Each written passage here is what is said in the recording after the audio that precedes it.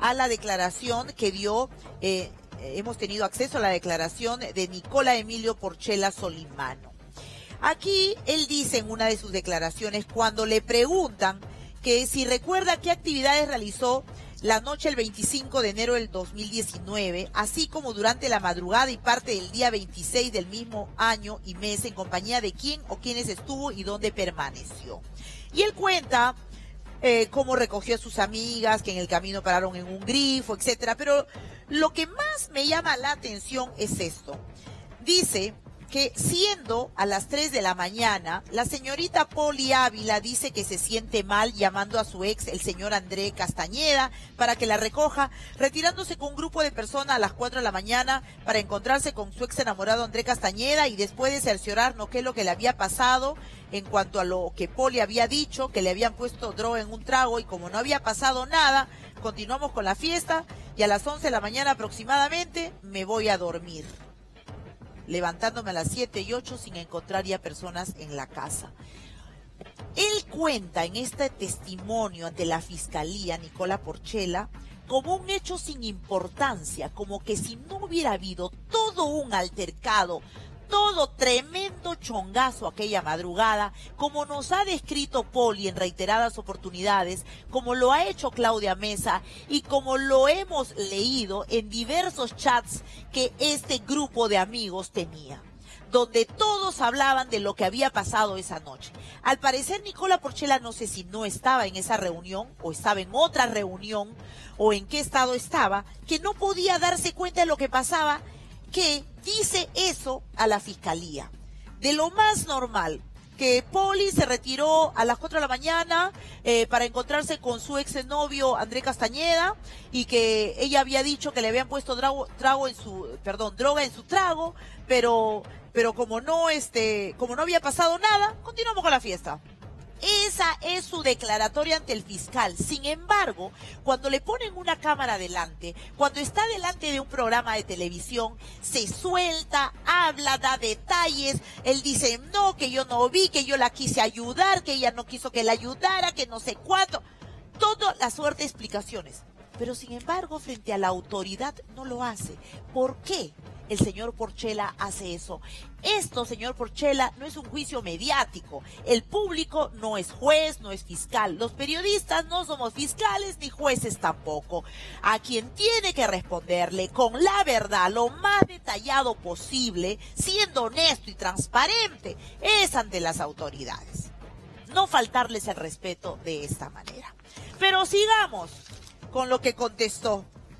Dice, Diga, precise si es cierto que usted era la persona encargada de entregar los shops de Jäger, vino y whisky a las personas de sexo femenino que participaron en la reunión del 26 de enero. ¿Cuál es su respuesta? De lo más escueta. Que no. Mira, acá está. Enfócalo. Que no. Que no. Que no. Así de simple. Que no. Dice, pero nosotros tenemos ¿no? La versión de Claudia y Poli sobre el Jagger. Menciona que el señor Nicola Porchela, en compañía de Bruno Pisano, estaban exigiendo de una en una para que tomen el shot de Jagger y no aceptando un no como respuesta. O sea, ellos llegaban con su, con su jarra y su vaso y le decían a las chicas que tienen que tomarlo. Era como una exigencia. Sí pero o sea, obviamente nadie se imaginaba de que el Jagger tenía algo, alguna sustancia. Cuando Nicola nos viene a dar el trago, Nicola ya tenía los shots en la mano. Evidentemente algo raro hubo y toda la gente que estuvo en esa fiesta lo sabe, es obvio. Las pruebas, los mensajes, las llamadas, los audios lo demuestran. Clarísimo hay que refrescarle la memoria con esos audios, con esas declaraciones de Poli Ávila y de Claudia Mesa que estuvieron en esa fiesta. Sin embargo, cuando le pregunta la autoridad a él que precise si era cierto que usted era la persona encargada, no, que no. Y punto. Ni un detalle más, que no. Él le tiene más respeto a un reportero de un programa de televisión donde se explaya, cuenta, habla, sobre todo cuando no le repreguntan, y dice y cuenta detalles, pero cuando la autoridad le pregunta, dice que no. pasemos a la siguiente pregunta. Y la siguiente pregunta es, pero como hemos visto, tanto Poli como Claudia señalan que él tenía los shots y las perseguía para obligarlas a tomar. Y acá dice, precise si es cierto que usted fue la persona quien insistía de algún modo para que Claudia Mesa Rosas y Paula Rocío Ávila consuman whisky y Jagger respectivamente. ¿Y saben lo que contesta él? En ningún momento le di whisky y el Jagger fue un juego que hicimos todos en la casa y que la señorita Paula Ávila lo corrobora en un programa de televisión El Valor de la Verdad, en donde indicó que ella me correteaba para darme de tomar. ¿Cómo has malentendido las cosas? ¿Qué manera de malinterpretar todo? Porque ellas acaban de decir que él era el que insistía en darles de tomar a las chicas el Jagger. Y luego, cuando Polly dice que se da cuenta, porque eso lo recuerdo perfectamente, cuando Polly dice que se da cuenta que Nicola no estaba tomando, agarra un shot y comienza a perseguirlo para darle el shot, para que también él tome. Pero en ningún momento estas dos chicas o algunas en los chats, las otras asistentes en los chats, han dicho, señalado, que esto era parte de un juego. Supongo que para él sería un juego, pero no para las personas que lo están acusando de haberlas dopado sin su consentimiento, de haberlas dopado él o alguna otra persona. Pero el que le daba los shots era él, es lo que han señalado, lo señalan a él directamente, no señalan a fulano, mengal, sino a él. Nosotros tenemos esas, esas declaraciones. La de Poli ya salió. Así es. Así que, y en el valor de la verdad ella dice eso. Pero no hay que confundir. Ella dice, claro, porque él no tomaba, ella lo comenzó a perseguir para que también tome. Ahora, dice, preguntado si vio síntomas de, síntomas o digamos gestos en otras personas de haber sido drogadas, tales como las pupilas dilatadas, resequedad en los labios y otras actitudes extrañas puestas de manifiesto por dichas féminas. ¿Qué dijo él? ¿Qué responde a la autoridad? No me pude percatar. No se percató. Él dice que no se pudo percatar. Ah, no, toda la fiesta se percató, menos él. Poli y Claudia lo han dicho acá en sus testimonios y lo han dicho ante las autoridades. Sin embargo, por ejemplo, otra de las concurrentes, Daniela Arroyo, también le dice a Poli, ¿qué pasó? Quería saber cómo estabas. Dice, sí, estoy bien. ¿Y tú cómo estás? Me preocupo demasiado. Y le dice ahí que ella también se sintió drogada. ¿Puedes pasar el otro? Ahí, ahí es donde le dice tu mandíbula, le dice Poli, tu mandíbula, porque todos han hablado de que la mandíbula ella se la movía de una forma tan desproporcionada que dicen que era indicador de que estaba drogada con esta droga M. Así que ahí hablan, dice, porque una de ellas que ya no está en la casa le dije, nos drogaron porque el Jagger estaba en la jarra y me dijo que no está, que el pico se rompió. Y yo que acabo de ver la botella del Jagger está intacta. Esto fue casi al día siguiente de que pasó la fiesta. Se hablan entre Poli, que ya estaba fuera de la casa, y Daniela, que todavía se había quedado ahí. Entonces dice, pero a todas, no solo tú y yo, habían las demás también estaban así. Sí, igual estamos bien. No puedo creer, dice la chama Alexandra, en otro chat, le dice a Poli, no puedo creer que alguien haga así, algo así, de verdad. Y tú tenías la mandíbula como la chica de azul. Yo no te vi, pero no sé, luego te pusiste así. Ella estaba horrible y actuaba normal. La boca la tenía mal. Se iba a morder la oreja. Y Nicola tenía miedo, dice la chama, la amiguísima de Nicola. Le dije que se quedara tranquilo y le quité el cel y borré las historias. Subió todas las historias con nosotros y conmigo y contigo. Ahí está la chama su escudera, cuidándole la espalda, diciéndole que las tomas de la fiesta que había publicado en Instagram, las historias de Instagram, Nicola Porchela, pues ella las borró para proteger a su amigo y protegerse ellos. Ahí está, ¿qué más quieren? ¿Qué más pruebas? El único que dice, no me pude percatar, es Nicola Porchela. Es que él estaba en una fiesta infantil, pues. Él estaba con globos, con serpentinas, con gelatina, arroz con leche, mazamorra, comiendo pastelitos. Sí, claro. Y los demás estaban en un juergón, tamaño juergón, que terminó en este escandaloso hecho, con acusaciones de violación. Con acusaciones de violación. Terrible. Entonces no quieran pues desconocer ni quitarle importancia a un hecho que realmente es ya de por sí indignante. Así y todo. Otra pregunta, porque me voy a saltear porque a todas contesta, a, por ejemplo le dicen, ¿tiene conocimiento que la persona de Claudia Fiorella se habría encontrado en la habitación con Jorge Faruk Guillén Yadalá?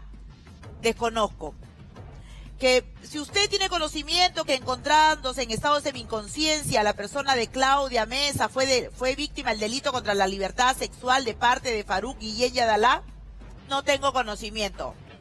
No, él, él no sabe nada. La mayoría de preguntas, preguntado, ¿en algún momento tuvo conocimiento de quién o quiénes pudieran haber mezclado el licor Jagger con alguna sustancia tóxica? No. Eh, ¿Tiene conocimiento que eh, Bruno Pisano, quien le habría manifestado y aceptado a Claudia, según versión del antes mencionada, que efectivamente la bebida ingerida hemos mezclado una sustancia denominada M? ¿Qué dice él? No. Eh, preguntado, ¿puede usted precisar qué sustancia denominada M se refería a Bruno Pisano? No. Esa es su respuesta. Nada sabe. Nada sabe, sin embargo, se explaya, se siente en los programas, se para en los programas una hora y dice y explica, intenta negar lo evidente, pero lo que es peor, ante las autoridades. Dice, si tiene conocimiento que alguno de los presentes de la reunión llevada a cabo el 26 de enero del 2019 se hayan consumido algún tipo de droga y o alucinógenos. No tengo conocimiento. No tengo conocimiento. ¿Y qué es lo que acabamos de ver de su amiga la chama? ¿Qué es lo que dice?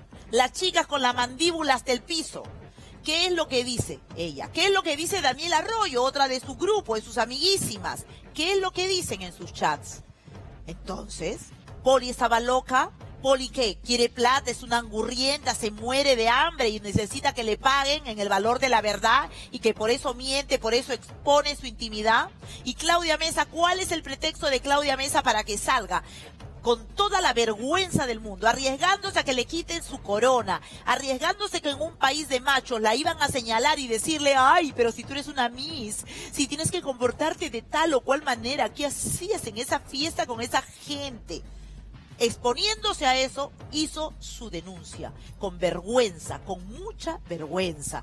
Y ahora el señor dice, no sabe nada. Y acá hay otra cosa, dice, ¿puede usted presentar elementos probatorios, llámese videos, tomas fotográficas, que permitan inferir sobre el normal desarrollo de la reunión llevada al cabo el 26 de enero?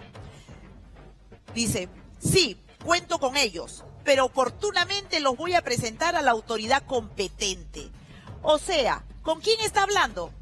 Con un NN, con desconocidos. Está hablando con su vecino, con cualquiera. Está hablando ahí con la autoridad competente y dice que tiene videos, audios y pruebas que lo va a presentar a la autoridad competente. ¿A cuál?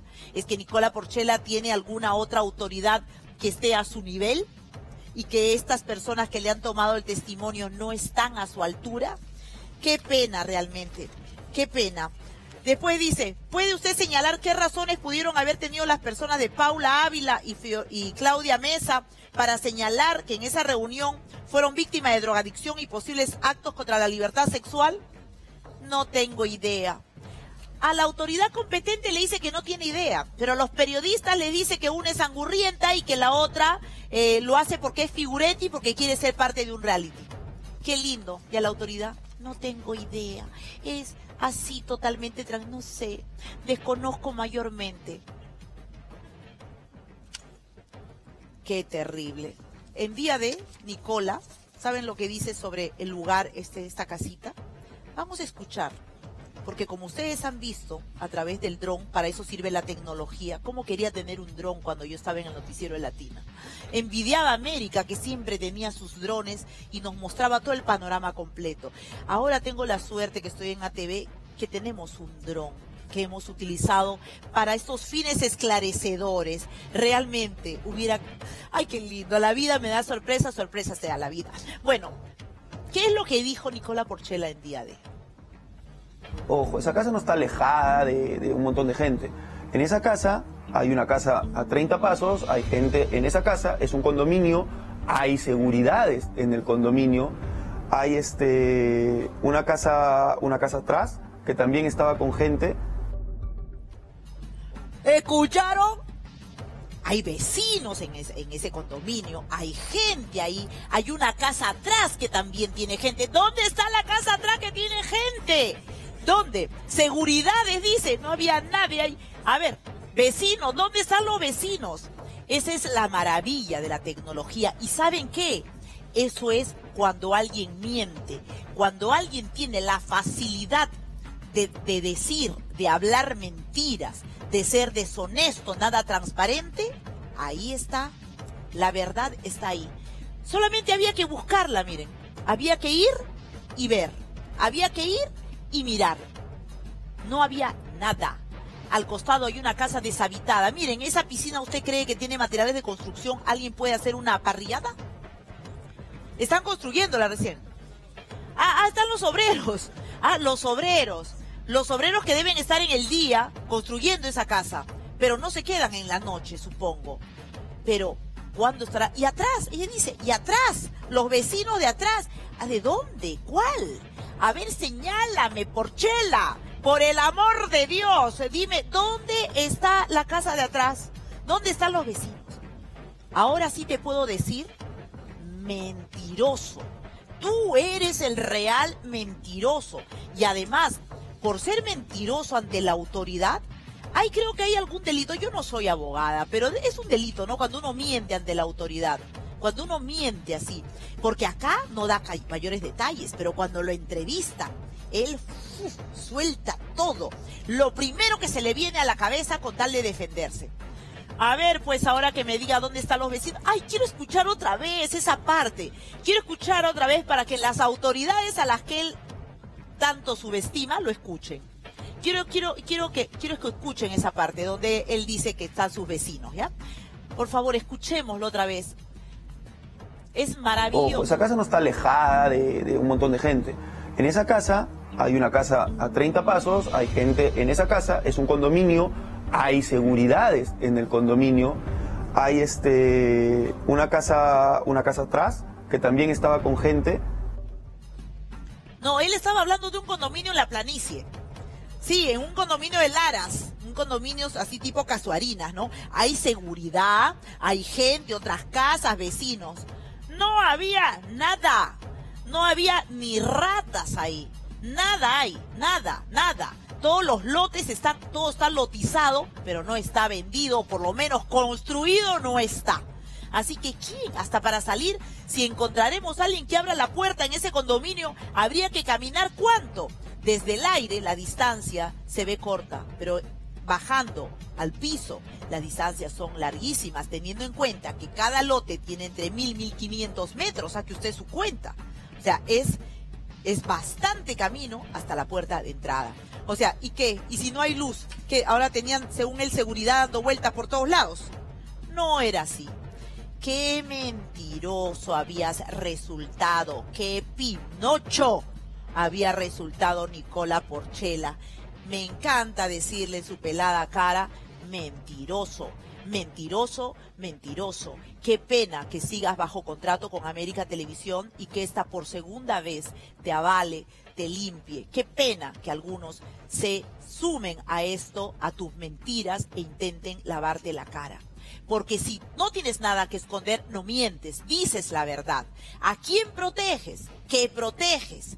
¿Qué cosa? ¿Todos fueron partícipes de esa noche? ¿Quién con su manito puso la droga en esa jarra? ¿Quién? ¿Cuántos? ¿Cuántos lo sabían? ¿Lo sabía Porchela? ¿Lo sabían los demás? ¿Eh? Hay muchas cosas acá, mucho que investigar y ojalá, y ojalá que la fiscalía lo pueda hacer. Ojalá. Y que muy pronto un juez tenga este caso y tome las medidas que deba de tomar sin que le tiemble la mano.